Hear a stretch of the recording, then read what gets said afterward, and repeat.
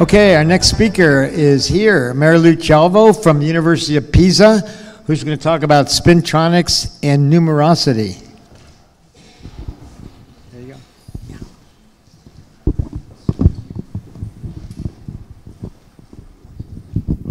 Okay.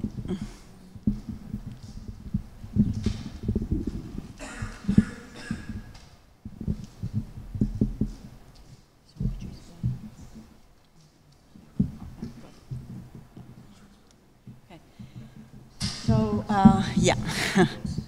Good afternoon, everyone. And um, uh, first of all, uh, with respect to uh, what we have just heard from Luca, uh, I'm talking about spins, but in a different manner, so not about their microscopic uh, uh, relevance, as Luca did, but I will be talking about a system of quantum spins, a network of quantum spins, that is used to mimic some perceptual uh, properties of uh, our uh, visual system. Uh, and, but before uh, going on, I would like to thank Stuart for this wonderful opportunity to share these ideas in such a great conference and especially such an interdisciplinary audience. And indeed, uh, this uh, work has been uh, done in a close collaboration of Jorge Yago Malo and myself. we are quantum physicists, condensed matter physicists, with Concetta Morrone, she's a neuroscientist, a visual neuroscientist, and Marco Cicchini from her group. And we have two uh, students, uh, a master degree student and a PhD student, Simona and Vittoria, who are uh, working in this project. Uh, all right, what is numerosity perception? Uh, well, uh, humans, but also animals, so we have uh, uh, this uh, ability, very uh, peculiar ability to estimate pretty well how many objects, items are in an audience. So, I mean, we look at this audience and we, we can uh, estimate how many persons are here. So, this is indeed the numerosity.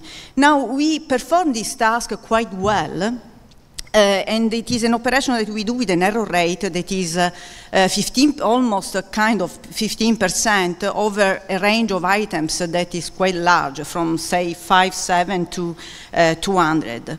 And this uncertainty is actually constant over all this range. This is something very peculiar. I will say some, something more about it later. Um, but uh, this uh, comes to the point that uh, actually this, determining this number is uh, usually associated to counting uh, in a cognitive manner, right? So one, two, three, four, five. But actually this is a capacity that uh, is perceptual. So we look at the audience and we say, we estimate how many uh, persons are, are, are here. All right, uh, so this is a kind of analogic sense of number. And it is quite peculiar um, and is difficult to account for this capacity uh, using, uh, as we will see, artificial neural networks.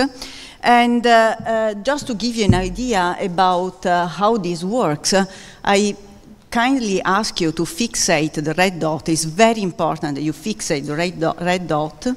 And uh, as you can see, there are a, a number of items on the left and on the right. Uh, the use of uh, white and black uh, dots is just because, I mean, to help the, the eye to look at all of them. Um, I'm I'm taking time because you need to fixate the red dot for, say, 20 seconds or 30 seconds. Uh, then uh, please uh, keep going and fixate the red dot. And if, you, if you, of course, you, you can see that there are uh, many more on the left now. And if you keep fixating the red dot, this is very important for reasons that I will tell in a moment, then when now I switch again the image, uh, I'd like to know how many of you uh, see uh, equal number of dots or more on the right, more on the left. More on the left, how many? More on the right? Okay, equal? Most of you equal. Okay, so the experiment was not su successful. Um, no, well, if, if we look at, the, we fixate the red dot for, say, many, many, many seconds, what usually happens, not to everyone, but to most of us, is that uh, we, uh, we see more on the left. And the reason why it is important to fixate the red dot is, is because uh, uh, what we do is to use uh, the saccades. And uh, this is uh, the trick uh, that uh, we play, that our beautiful visual system plays, uh, to uh, have a, high, highly defined um, vision, even using only part of the fovea. And this is really a beautiful property that we have. But so anyway, this is a perceptual mechanism and uh, going to an experiment, this was done in Concetta's lab, if uh, you uh, ask uh, a number of people, uh, so of course there is a sampling, a statistics, etc., uh, you subject them to um, a number of items and to estimate this number of items, what is seen is that, um, um, is that the, uh, on the left, uh, for, for the audience that is online, uh, on the left, that if we, we look at the uncertainty as a function of the number, this grows up kind of linearly. So if we make the ratio, that is the relative uncertainty, this is constant in between you see 5 and 500. So this is quite peculiar because, for, for example, neurons, they fire in a Poissonian manner, right? So it, it is like our system, visual system, our, and our brain is able to do this remarkably uh, well in a very, very efficient manner. Now, uh, of course, one can uh, um, ask uh, whether uh, one can ask whether uh, there are uh, ways to describe this phenomenon, the, for example, using artificial neural networks. This is the first thing that we are going to, to look at here. Um, but uh, uh, we will see that the situation is not so simple and there are some surprises. So this is what uh, I'm going to uh, do now. Uh, I'm going to uh, tell you some recent um, theoretical approaches to, to this problem. our different approach that is indeed based on um, the, the quantum physics as a toolbox, I would say. Uh, then I will uh, tell you a little bit uh, mm, for, I mean, we, ha we have a little time, a short time, so just a little bit about the methods that we're using and then the results. And then I will turn to what will be next, that will be even beyond mimicking. All right, so let's, let us start from uh, uh, the existing models. So existing models uh, um, there are uh, some uh, more recent papers, is uh, 2019 and 2021, paper that use uh, AlexNet essentially, so artificial neural networks, but as you, as you can see, uh, these are artificial neural networks with a lot of convolutional layers, so they are very complicated uh, um, architectures. Uh, and what is uh, seen uh, is that for a network that is trained to recognize the, to recognize uh, uh different items, or I don't know, a dog with respect to a cat or whatever, that is something that someone before was saying is artificial neural network now can do quite well. A limited amount of nodes are able, specialized to count of course after training. So for example, this node counts uh, the four, uh, this other the 20, and so on and so forth. And this is something that is also seen in experiments done with uh, animals. Now, the point is that uh, this uh, ability of this uh, classical artificial neural network to count is encoded only in part of the network, say no more uh, than 10% of the units. It also follows the, the Weber's law, but it requires uh, training, uh, at least in one of the two papers. Okay, while as we have seen, these properties, properties a global property of, uh, uh, of the system and it is uh, some traits of uni universality because it's, it is ubiquitous in, in, in, the, um, uh, in the human, in, in the animal, uh, um, in mammals, sorry. Okay, so uh, the questions are uh, whether the brain is using uh, some ad hoc mechanism for this perception, and uh, if we can design uh, a, a, different network model that is capable, of describing this property, but in a universal manner, in a global manner, uh, maybe with a simpler architecture because we want to mimic it in an efficient manner. Uh, whether this function is universal, so it doesn't depend on, uh, um, on what is robust with respect to space and time randomness, the network topology, and also the presence of dissipation. And uh, if it is global, so if we can uh, uh, extract uh, this property not from, say, 10% of the nodes, but for, from the, the, the, global network. All right, so here is our approach to the problem. Um, and this is about using the so-called quantum-like paradigm. This has been uh, um, developed and uh, also used in many different contexts. So using, consisting using quantum physics um, and quantum networks uh, in a, um, uh, like a, quant a mathematical toolbox uh, to describe systems that are complex, but they do not need to be quantum necessarily, okay? So it has been using, used, for example, in, for uh, mimicking decision-making mechanisms and so on and so forth. All right.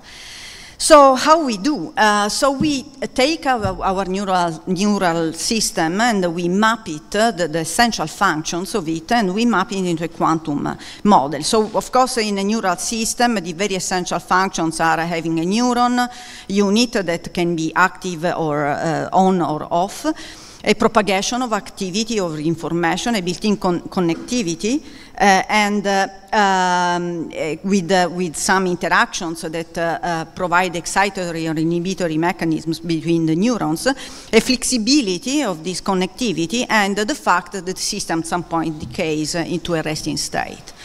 So, um, this, in this work that we did with uh, our colleague uh, neuroscientists, uh, we they were saying, okay, this is the function we need, and as quantum physicists were saying, okay, this is the kind of object that we give you. And so this is the mapping. Uh, uh, the neurons are the spins that can be oriented up or down. This is a one-half spin system. Uh, the excitation transfer uh, happens uh, through tunneling in the network. Uh, there is an interaction potential between the spins, and then uh, we can change architecture from uh, a, a, nearest neighbor to an all-to-all coupling and in between, and then there is some dissipation. So this is a scheme of the system, um, and we can see that um, uh, this is the tunneling process. So in the tunneling process, this means that a spin uh, up is transferred, so the sweep, swaps and uh, is transferred to an adjacent site or adjacent, uh, meaning nearest neighbor or an, even a spatially distant site, um, and through a tunneling process. Or uh, we can have, and we can have this interaction between the spins that uh, mimics somehow the inhibitory excitatory mechanism. And then uh, we have um, dissipation that can happen either through the fact that excitations uh, can be lost from the system or there can be a dephasing because of the interactions between these neurons uh, slash spins.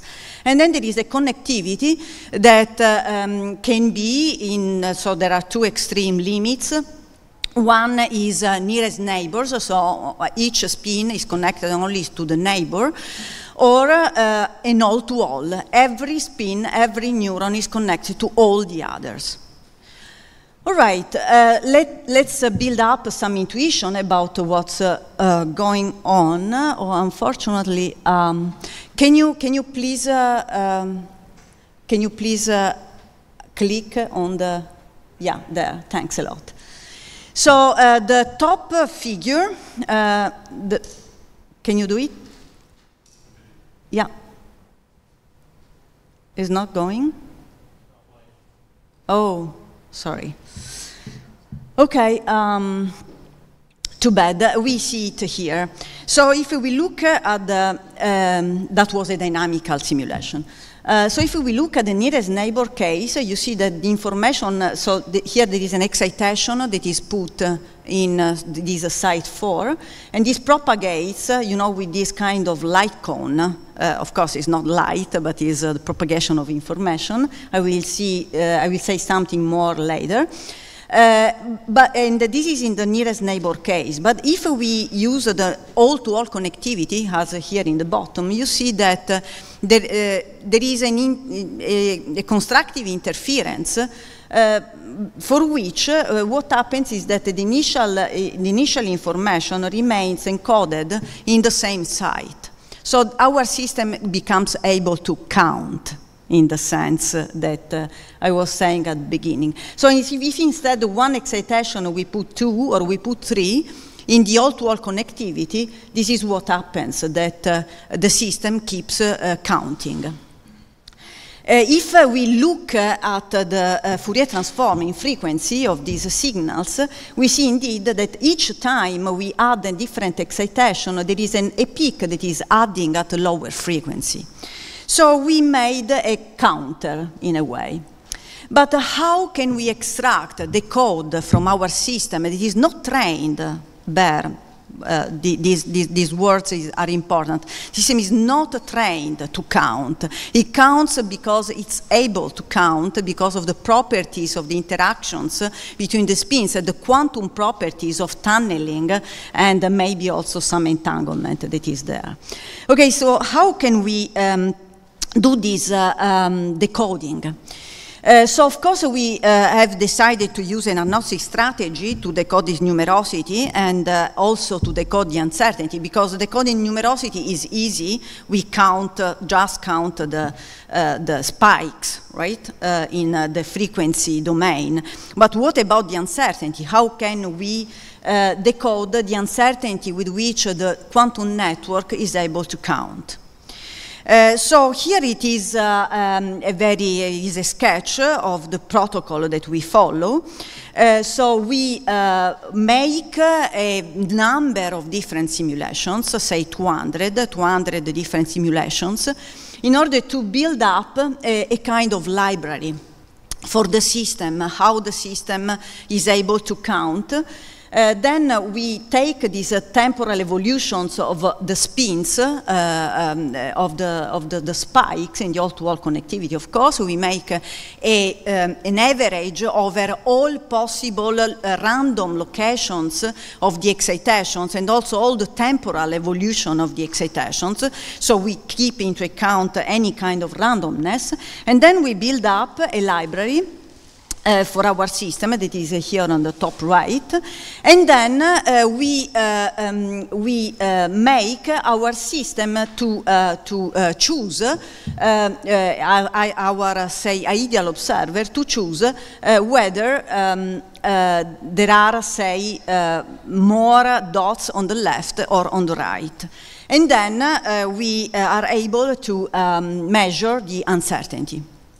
Uh, I show you more in detail this last step uh, in this manner. So again is the original experiment um, that we made with the audience. Uh, so let's imagine uh, that uh, uh, you know we give the system a number of dots on the left and a number on the right, and then we ask the, the system, comparing uh, this situation with the library that we have built up, uh, how many, which is the, uh, uh, sorry, uh, Siri is talking for me.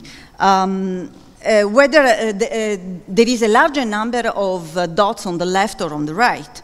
And so in this situation, of course, the, the uncertainty will be small uh, in this situation will be still small, but in this situation it starts to be larger. Okay, and so we we built up this uh, uh, that is called in neuroscience in uh, um, uh, is called uh, um, um, psychometric function. And from this psychometric function, we can quantitatively measure the uncertainty.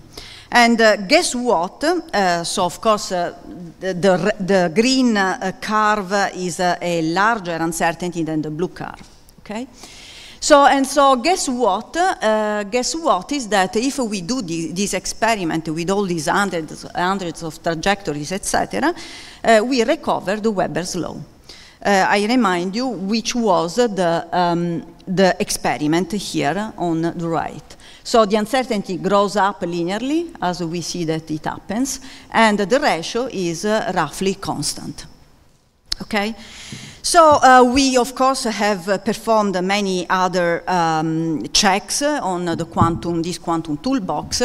Um, so how, how, much it is robust with respect to randomness of the excitations where they are put in the network, uh, how much uh, um, uh, is robust with respect to the intensity uh, of, the, um, of the excitations and so on and so forth, and the system is quite robust.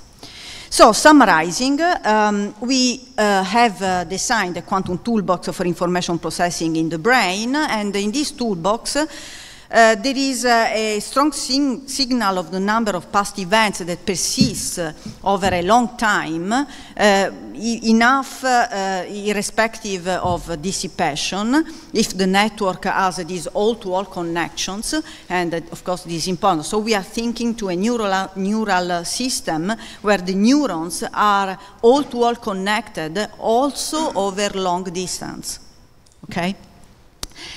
Other point is that this numerosity perception is an intrinsic property that comes about without any training. And even with our agnostic decoder, uh, numerosity perception follows the Weber's law and uh, is uh, as derived from the psychometric function. So this finding is, uh, I, I, have no time to show the details, but of course uh, we can discuss uh, off, um, off stage. Uh, this is robust with respect to time and space randomness, excitation intensity, moderate dissipation, and all the other governing parameters. I don't want to uh, discuss, uh, uh, sorry, and then uh, this is, uh, the other point is that this is a minimal uh, single layer, minimal couplings, the all-to-all network that is much simpler than those artificial neural networks that, by the way, were not capturing all the properties of this phenomenon. So, the reason why don't, I don't won't show the details of all this is because I want instead uh, look uh, together with you at uh, the horizon. So this picture was taken a few days ago in the very south of Italy, where I'm from originally, uh, and uh, uh from a place where Greek, the Greek culture is, uh, is uh, really embedded in, in, in, the culture, and, and it, this is important for reasons that I will say, say later on. And so I want to discuss with you some uh, next questions that we are tackling with this quantum model. So one first question is, which is the potential of this quantum toolbox? Uh, so the first question, of course, is whether uh, uh having an all-to-all -all, uh, connectivity is really essential, and if so, if this has a deep reason. Uh, for example, one uh, other question is whether uh, entanglement in the quantum sense is uh, at work and is important for us. Uh, and the related question is whether, uh, whether we can make an even more realistic um, system, so like a more complex quantum architecture, still simpler than any classical um, artificial neural network that has been used so far. Uh, so, for example, this can be an all-to-all -all connectivity, but with links that are weighted, and they can be weighted in an ordered manner or also in a disordered, in a random manner. And we can uh, uh, ask whether uh, also the other architectures are possible instead of an all-to-all, some intermediate situations like, uh, I don't know whether you know the small world architecture, so where there is some clustering of uh, net in, within the network or the scale-free, that is the tree of life and others. And uh, in particular, in this sense, whether there are optimal conditions between uh, the possibility for the quantum information to spread in a coherent manner with respect to instead having some information scrambling. Uh, that is something that has to do with uh, being in a kind of transition between an ordered state and a chaotic system.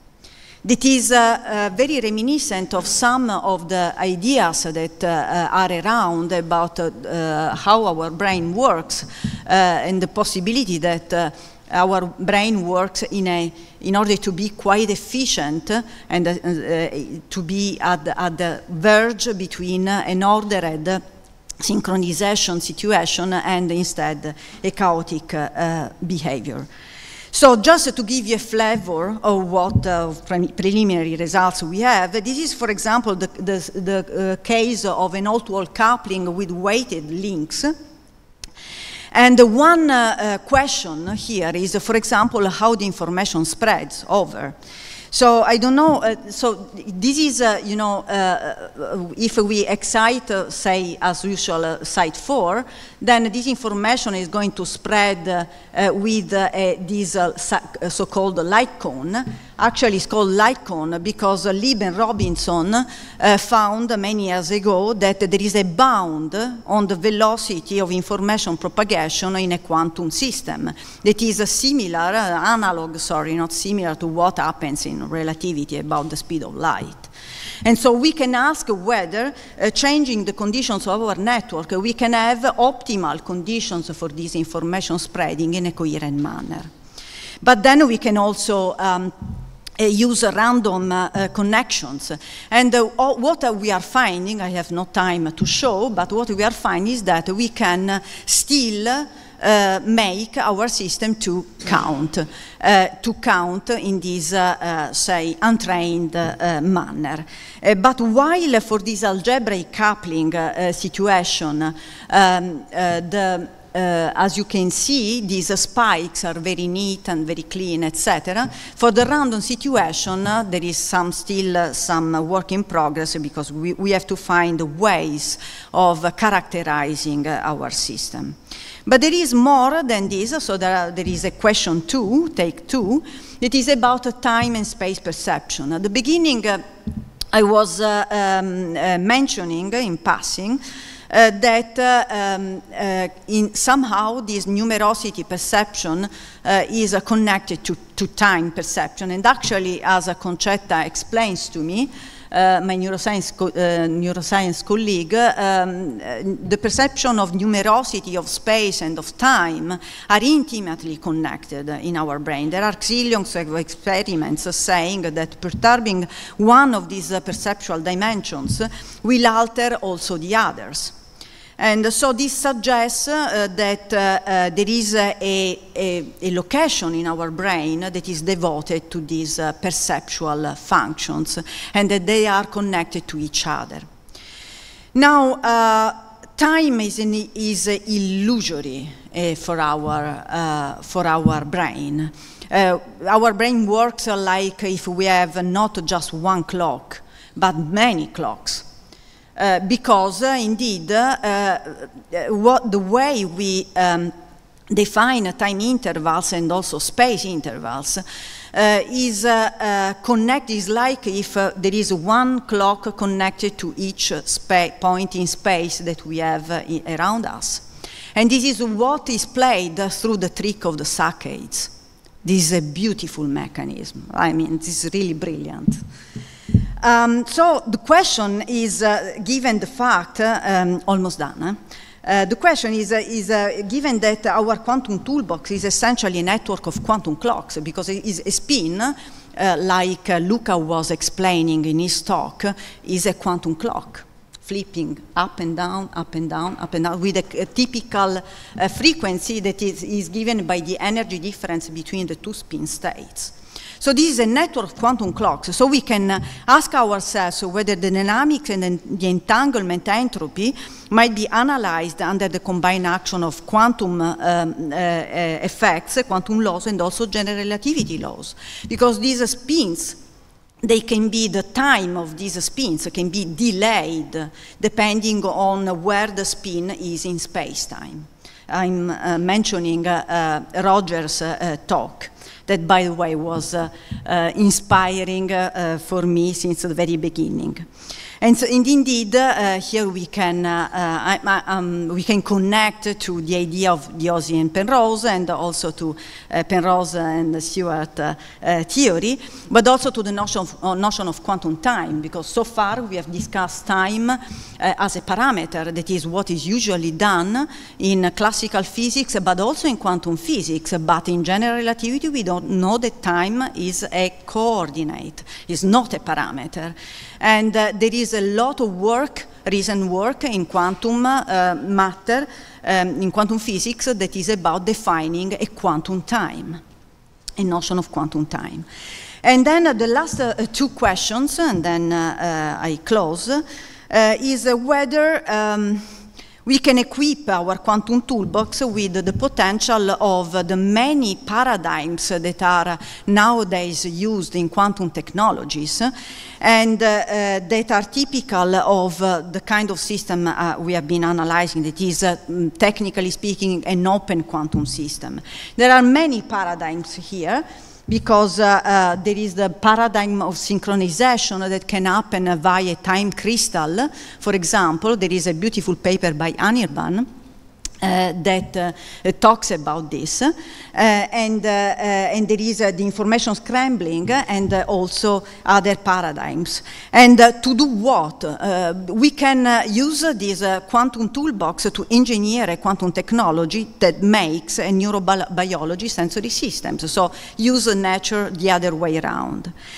And then in the opposite direction instead, that is the one uh, that connects instead to the talks of Anirban and of Chris, Chris Simon yesterday, is whether we can, if we can take this quantum model uh, seriously in the microscopic sense, so not just to mimicking, but as something that re really happens in the brain, of course this is speculative, we can embed into all these parameters of the model, we can embed uh, microscopic parameters that are from spin qubits or biophotons or uh, spin, uh, uh, spin, um, uh, spin systems.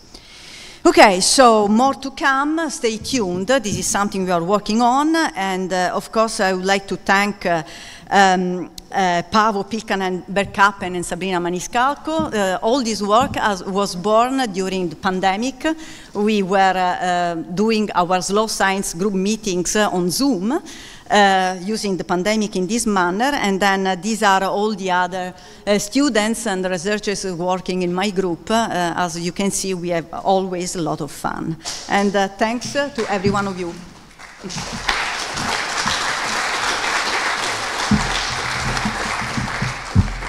Thank you. Uh, time for a couple of quick questions. Time guy.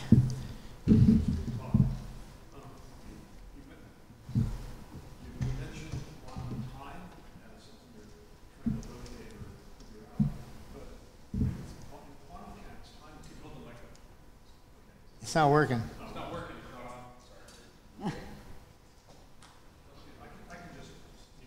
or you can use this one. Here we go. Trade off, hand me that one. Thank you. Okay, you're, you're in search of something called quantum time, but uh, time is peculiar in quantum mechanics, as you may know. I mean, in standard quantum mechanics, you have things that are measurable, and these are given by operators like position, angular momentum, linear momentum, all the standard things that you're used to measuring. But there is no operator for time in quantum mechanics, which makes it very peculiar, which makes you even question whether it even exists, at least at the quantum level. There is no operator that anyone can agree upon. Can you comment on that? Yes, indeed. Uh, that's the situation, and uh, there are um, several approaches that uh, tend to introduce a notion of quantum time that, of course, uh, uh, would uh, scramble completely um, uh, the way we look at quantum physics or part of the way in which we look at quantum physics. So for example, one question is how to recover the Schrodinger equation in the case in which we have a quantum operator for time and uh, we have states of time. There are several uh, approaches, uh, several, a few.